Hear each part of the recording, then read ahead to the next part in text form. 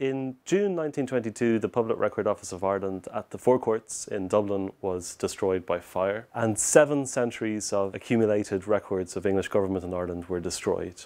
But also records that touched on almost every aspect of life in Ireland births, marriages, deaths, parish registers. The Beyond 2022 project is seeking to reconstruct the record treasury by gathering together all substitute sources from libraries and archives across the world.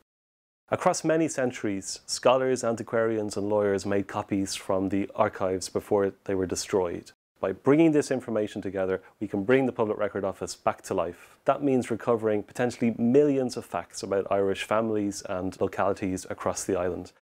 We're going to build a 3D model that reconstructs the Public Record Office of Ireland as it existed before its destruction. We can build this 3D model of detailed plans and we know down to a shelf level exactly what would have existed in the archive and we can then recreate that in this new immersive virtual reality environment to walk through the corridors, to walk up the stairwells, to experience what it would have been like to wander through the archive. The public will be able to explore the archive, go to a shelf where they know a record is stored, identify that record on the shelf.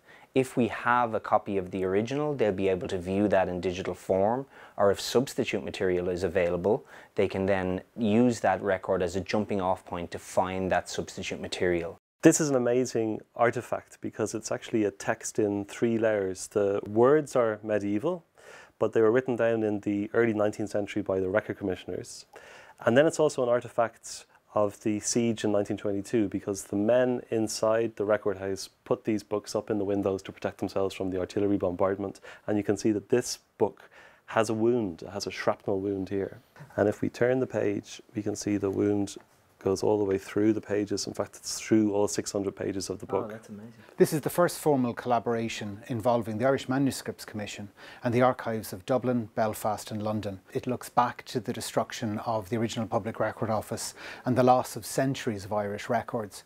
But from that infamous event, it looks forward to redrawing and recreating the archival landscape, not as a, as a static memory, but rather as a dynamic, evolving discovery, a reconnection of archival sources within Ireland and beyond.